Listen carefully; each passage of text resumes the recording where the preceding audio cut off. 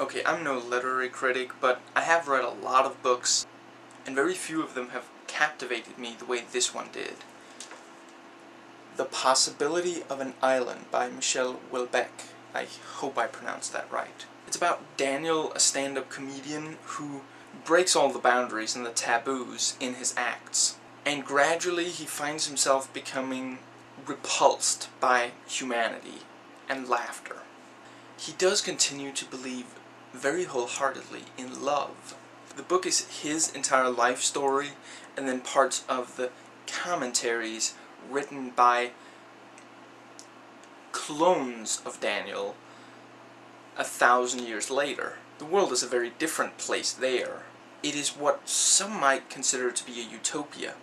So these two periods of time are juxtaposed over the course of the novel, and Houellebecq explores humanity, our needs and desires.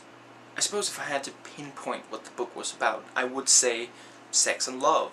And it's a very smart book about those subjects. Now, Houellebecq is, I understand, very controversial. And having read one of his books now, I can see why. There are a lot of very direct, even explicit descriptions of sex. He comments on religion. Some call him misogynistic. I suppose to an extent he is. But he's also just very, very honest.